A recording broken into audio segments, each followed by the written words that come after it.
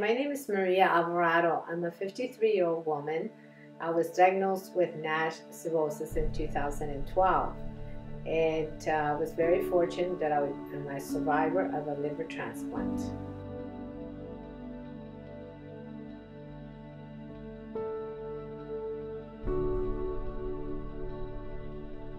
When you were diagnosed with fatty liver, what came to your mind? The first thing I like, I was shocked when uh, with a fatty liver because actually, first of all, I, I just remember now that the Minister of Health called me uh, to check on me and saying that I was with hepatitis B when it was a fatty liver. And from there on, my doctor actually took care of it, and like I was, it was shocking. I had just started my new job, and I had a two, a two and a half year old son, child. So it's like, and I had my other two ones that they were small and just said like, wow, my family now, like, what's gonna be after?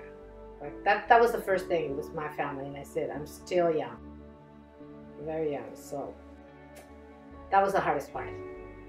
What does NASH cirrhosis mean? And were you a drinker?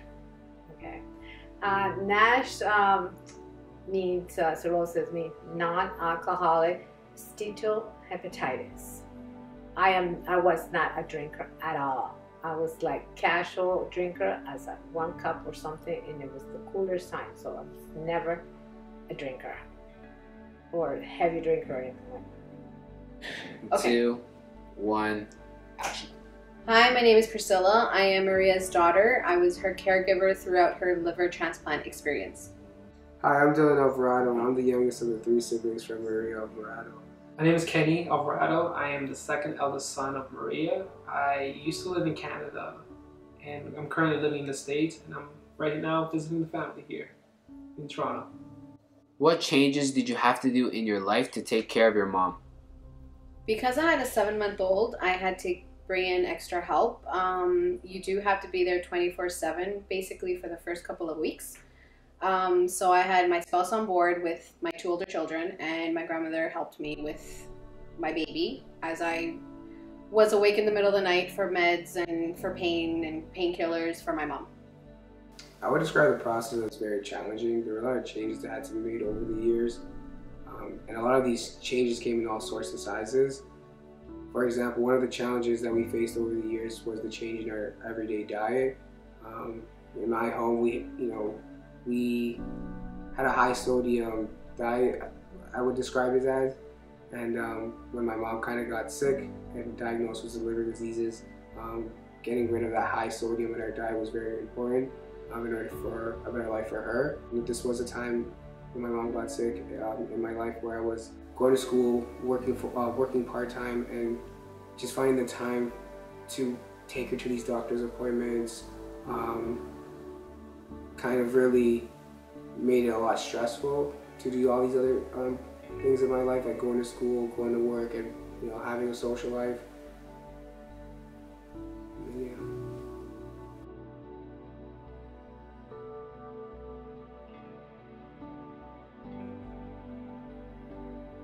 What role did you take in your mom's illness before and during the hospital? So before um, she was admitted to the hospital, it was a bit of a challenge. Um, I used to call her every single day just to be like more of an emotional support. Um, it was a bit of a challenge, but when I was here, I was definitely you know helping her um, be more active. You know, making sure that she was going for her walks, um, eating right. You know, I would not take like bring like any food with salt. Um, also, I helped her you know, when she was getting tapped, you know, she needed somebody there. Like she used to hold and grip on to like uh, the hospital bed.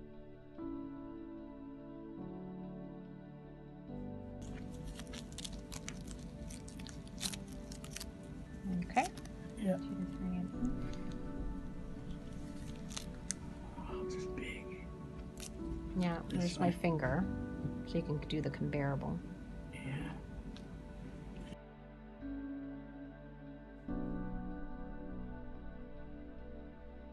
I was there to you know support her through that. Um, and yeah, just you know, I remember um, she needed help even to put some socks on during that time. You know, she was just so big she couldn't reach for her for her feet, and I had to put like on her socks.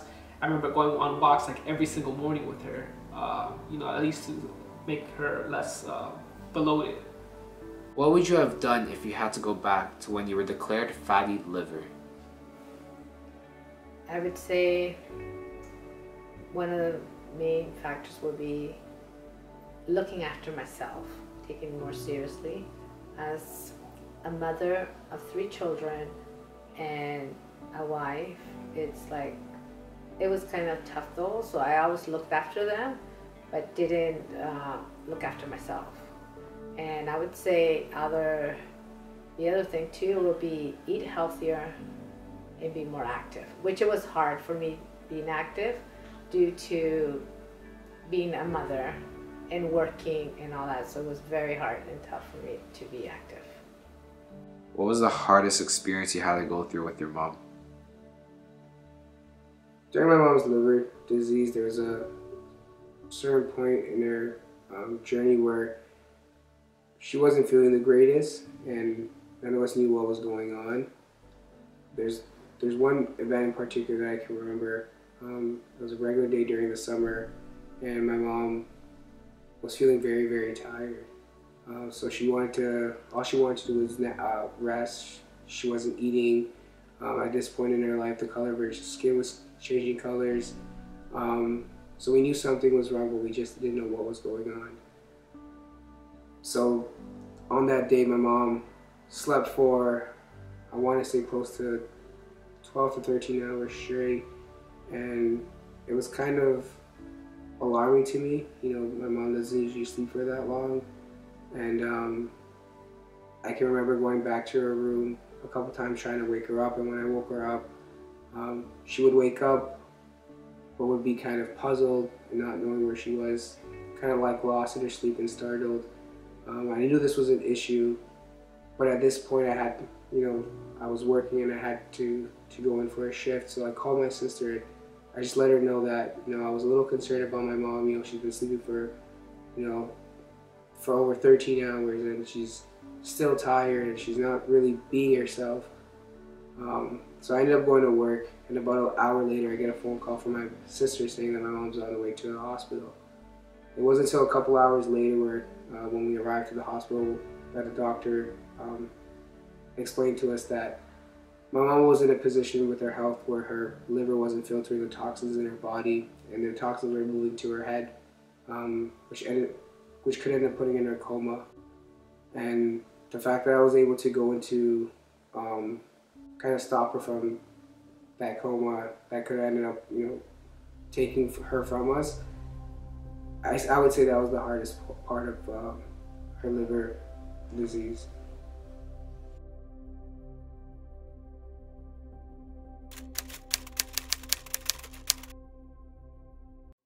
How did you feel when she came to the last stage of cirrhosis? Ah, tough one there. Um, Ooh. Uh, this was like around Christmas 2019. Um, throughout that whole Christmas, you know, season and even going into the new year, I remember um, I received a phone call and I was in Arkansas. I had to call in my brother who lives in the States. You know, it's time for him to come in.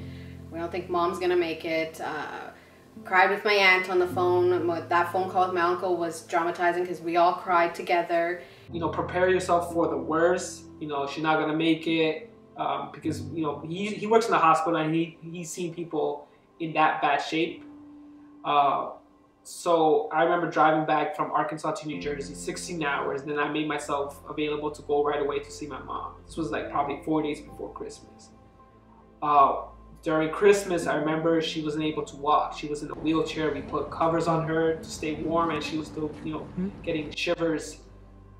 I remember uh, Christmas, we spending Christmas, you know, in the hospital. New Year, she spent Christmas in the hospital, and then I think it was the first week of January of 2020, is I I was with her when the needle kind of like she was getting tapped and the needle kind of broke in her in her belly, and she was internally bleeding.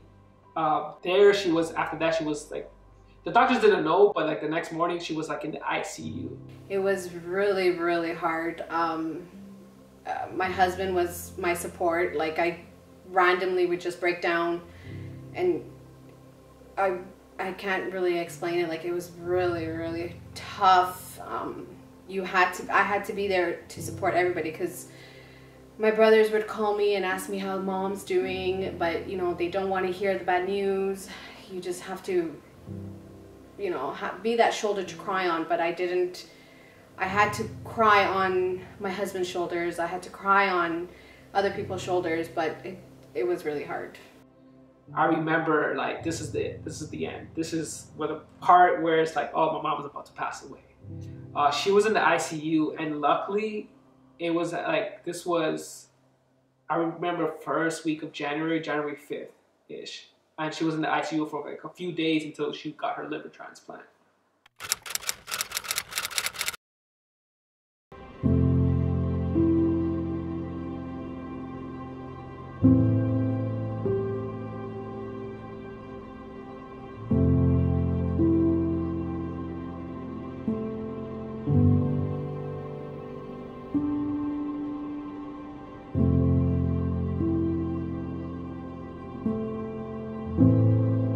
How did you feel on the day of the surgery and after the surgery? The day of surgery, um, I was scared, nervous. Um, you don't know what to expect. You know, you're going through this for the first time. I was very happy. Um, throughout her journey, I saw how much faith my mom had, and it was uh, very relieving um, when we got found the news that she was um, finally gonna get better.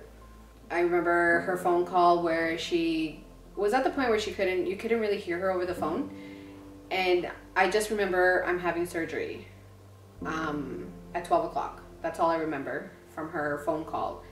I hung up. I prayed. Um, I prayed to my grandfather, who unfortunately passed from this.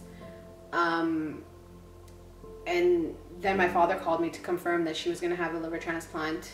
Um, she couldn't eat after 12 o'clock. So there I even got even, I believe, more nervous. Like I started to shake, I started to cry by myself. I was home with the baby. Um, I had to prepare myself, I had to prepare my household because I had to be at the hospital um, for five o'clock um, when my husband would get home. And then after surgery, same thing because you don't know what to expect. You don't know um, what's going to happen next. Yeah, she had a new, she was getting a new liver, but you know, you don't know what's going to happen. You know, those 24 hours are critical. What if her body rejects it? You know, it's all these questions and all these nervous feelings and scared and you just you don't know what to feel. You're just I just prayed. That's all I felt was I needed to pray and I needed to to just focus on her. During this time too, I wasn't really that scared because I really had a lot of faith and trust in the, the team of doctors. Um, I was also, in a way, kind of preparing myself because I knew even though that she was going to get a new liver, there were still um, a lot of challenges that we were going to have to face over the next couple uh, months.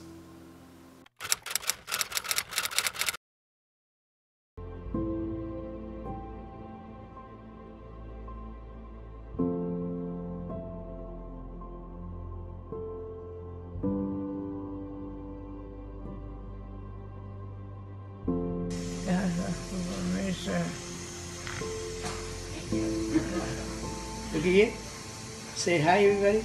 I love everyone. I love you all. Our staff, my family, everybody. We're glad to help, sweetie. Yeah. We're very happy to help.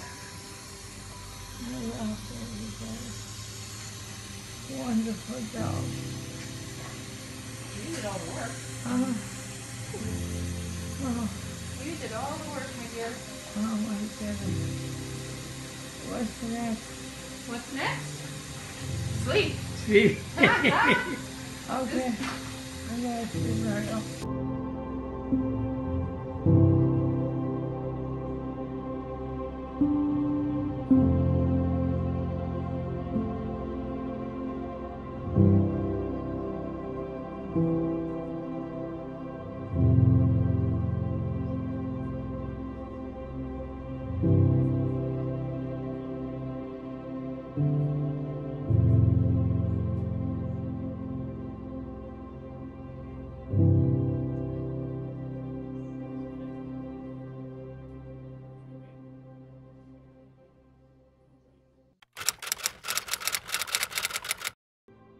How does it feel to see your mom on her one year anniversary since the surgery?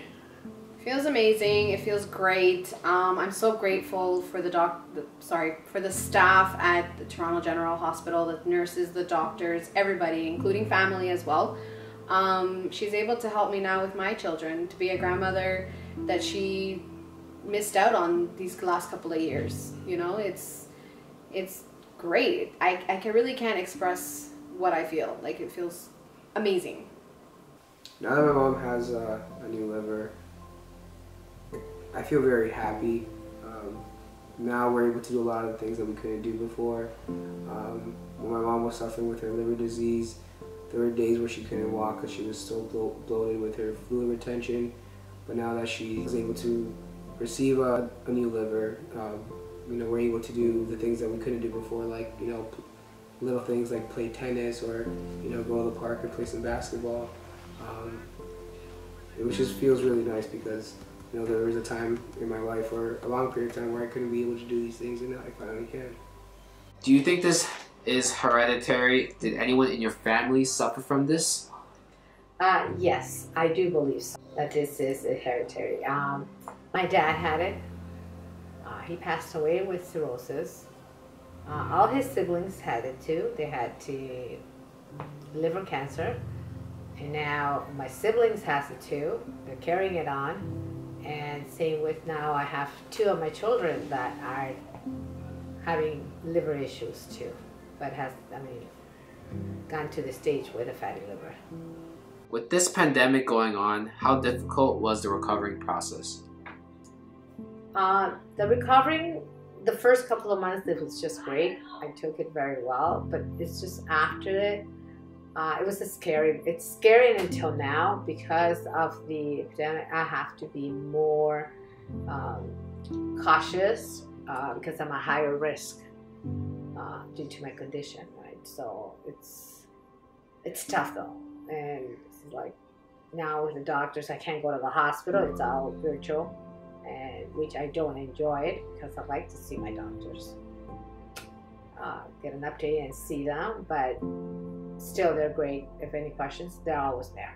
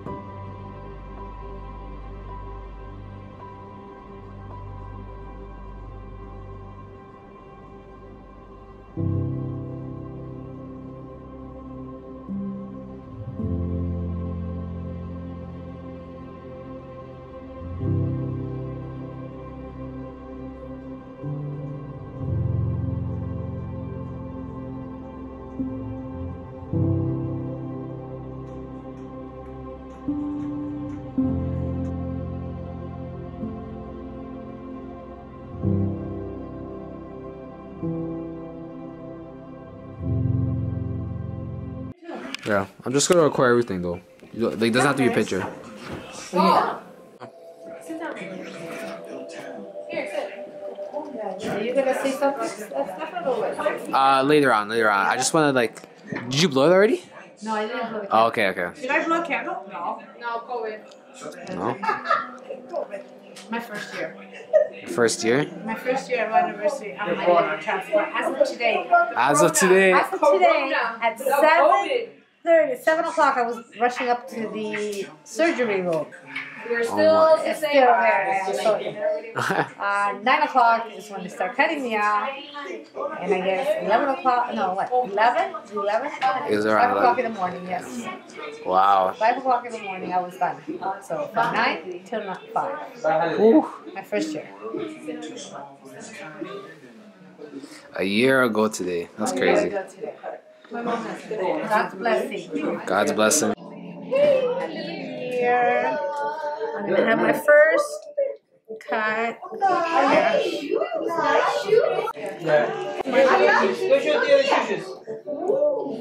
Just tell them they were white once upon a time. Now they're gray. Once upon a time they were white. Now they're gray brownish. My first year. So happy birthday si Ganda. No, not happy birthday. It's my first year anniversary. Isn't that great? Shraddha? Ready to blow? anniversary. Make another. Yeah. Is that give All you the a blessings for even from now on. And no rejections. Let's go. Ooh. Go out. How's my cake, guys? Oh, did you make it? No, Carlos brought the cake. Thank you, Carlos. Carlos, It's for, No, thank you. for a special person. Thank you. Very good. What do you have to say to the people that have the same illness or are suffering from an illness? Um, don't lose faith. Don't lose hope. Um, if you're just going through it, if you're just diagnosed and it's the doctor has told you it's reversible, challenge yourself to be a better you. Staying healthy, eating better, getting active, and cutting out the alcohol and the things that kind of affect your liver negatively. Um, because if you want to live a better tomorrow, these are the steps that we need to make today, um, and it does help. manifest that everything's gonna be all right. Um, do your research. Try to live a better lifestyle. And depending on your situation, like every situation is different. But I remember, like my mom, she was in the worst shape, and honestly, she went through all this with the intention and with the mindset that she's gonna be all right. She was in good hands. Stay positive. Um, don't give up. You know, don't lose hope. I would say challenge yourself for a lifestyle change. Focus on yourself, focus on the diet, um, and also be active. Follow the doctor's instructions. Be strong. Be a fighter. If I did it, you can do it. I was called a warrior for what I went through. You can be a warrior too.